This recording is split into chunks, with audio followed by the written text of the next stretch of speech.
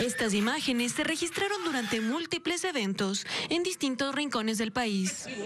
Es evidente la falta de medidas de bioseguridad, la aglomeración y la irresponsabilidad.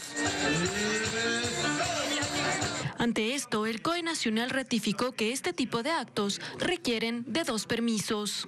Han sido autorizados por los COEs cantonales sin tener la respectiva autorización del órgano que de acuerdo a la norma legal también tiene que autorizar eventos públicos como son las intendencias. Informaron que para el desarrollo de estas actividades, el lunes se emitirá un protocolo que impone diferentes requisitos. Para que quienes necesiten hacer un evento de estas características, pues saquen el permiso y el requisito va a ser cumplir con este protocolo. Las intendencias de policía clausurarán los eventos a nivel del país si no tienen autorización. La preocupación de las autoridades llega debido a que en las últimas semanas se registró un ligero rebrote de COVID-19 en el país. Un reporte de alrededor de 730 casos de lo que las últimas semanas habíamos tenido alrededor de 400. Las autoridades hacen un llamado a quienes no han recibido la vacuna anti-COVID a acudir a los puntos asignados y exhortan a los COEs cantonales a cumplir con las medidas dispuestas